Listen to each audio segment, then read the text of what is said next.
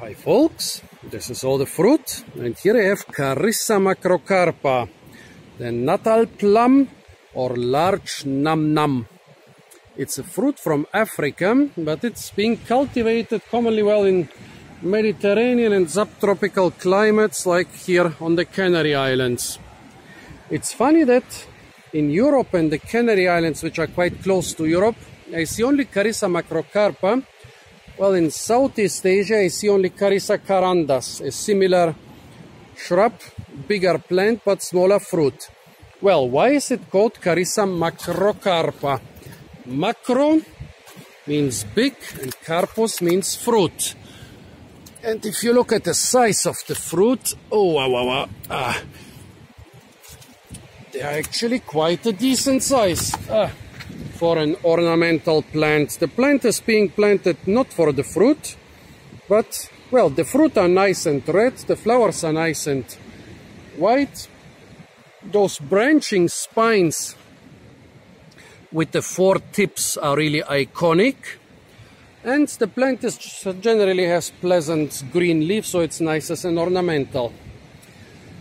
As far as edible plants go, basically all red flags go up when you see this plant.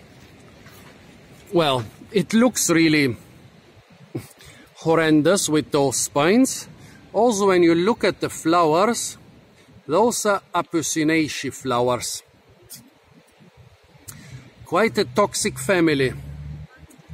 Well, hmm a family with like plumeria and um, the um, the really really toxic um, oleander.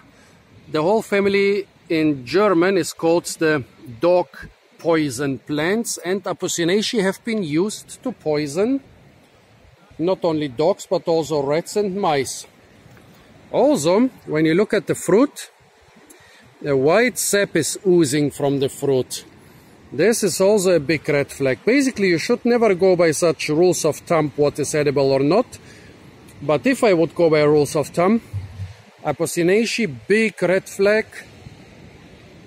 And also, and also um, white sap oozing from a plant is a big red flag. There are edible plants with white sap, like figs or dandelions, but still, in 95% of the cases, it's a red flag. So let's eat this mm, fruit from a toxic family using white sap. The Natal plum mm, as the name suggests is edible. It's quite tasty. It's yeah, it reminds me maybe a little bit of a plum taste wise. The taste is mild, those are not completely ripe. There are a couple completely ripe fruit there, but they seem to be rotting already. So let's see, this one is even less ripe, still, um, still a bit hard, but already red enough. And look at the size of this fruit, I mean, mm. most fruit of ornamental plants are quite small. Those one are pretty big. Well, a mild sourness.